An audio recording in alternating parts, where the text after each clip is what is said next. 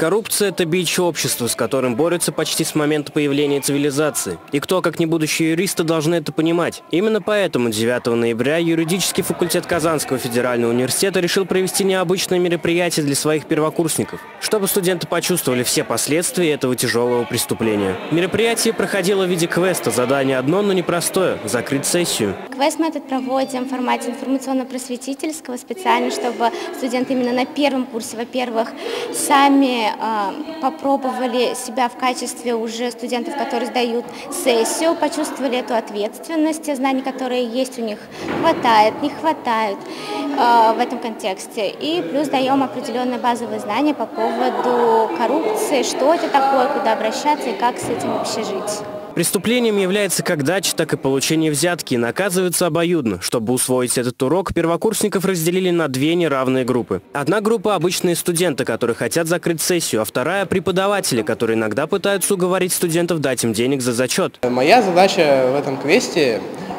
уговорить студента дать мне взятку и проверить, насколько он порядочный.